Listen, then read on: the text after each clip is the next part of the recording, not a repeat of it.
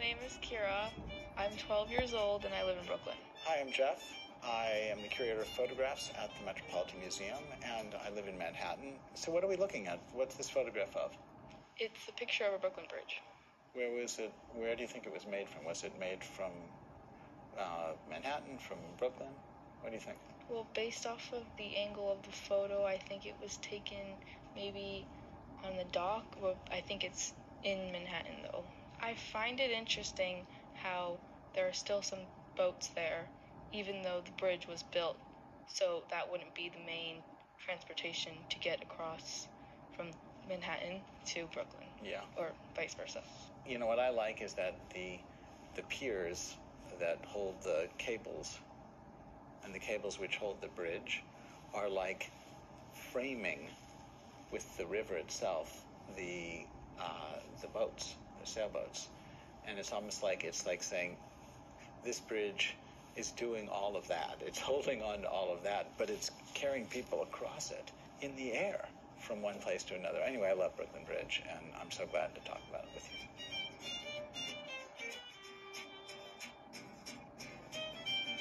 So here's another photograph of the Brooklyn Bridge in the collection, made by an artist named Berenice Abbott. And we know when it was made. It was 1937. So it was about exactly 50 years after um, the other picture.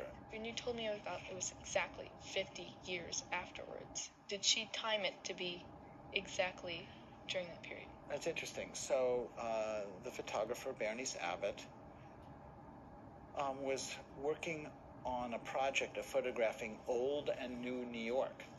And she certainly knew that the Brooklyn Bridge was 50 years old when she made this picture. But she was just trying to use the camera to record things as they are. Which is why I felt like it was kind of simple at first, but that's what she was trying to show. Mm-hmm. It was supposed to be like that. Mm-hmm. And I kind of feel like I could walk up and participate in this scene. I feel like I'm walking around uh, New York City in the 1930s. In photography, it brings people back in time in a very nice way.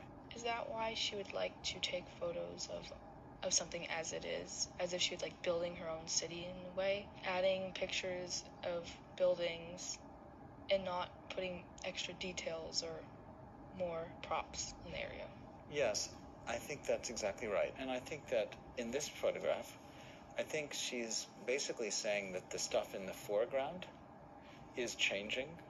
And what's nice is that in the background, the bridge Yeah. isn't. So the bridge would kind of be still a, a reminder of, look, this is still here. We're in New York, right? But everything around it is changing. and will change. Yes. So if someone were to take a photo like this, it could say, oh, look, it's a different time, but it's still in the same place. I'm Kira, and I'm reporting from the Metropolitan Museum of Art.